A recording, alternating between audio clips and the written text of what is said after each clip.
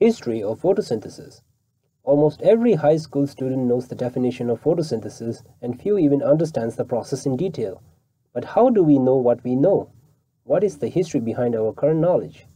Not many bother to dig into history to know how our understanding of the process came to be. To know about the history of our understanding of photosynthesis, we need to go back into 1600s when there was a person called Jan van Helmont. No, he was not a dinosaur. He was a Belgian chemist.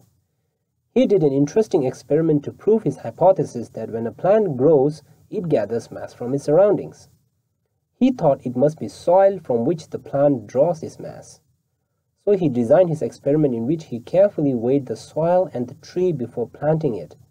And after five years, when the tree grew quite large, he weighed them again.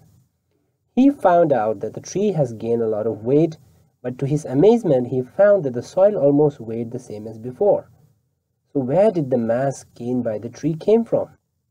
He deduced that it must be water from which the tree gained its mass, because that was the only thing he added on a regular basis. So what do you think about his deduction? Do you think that he was right? Is there any other factor which he missed to consider? We will know more about this in our next episode of History of Photosynthesis.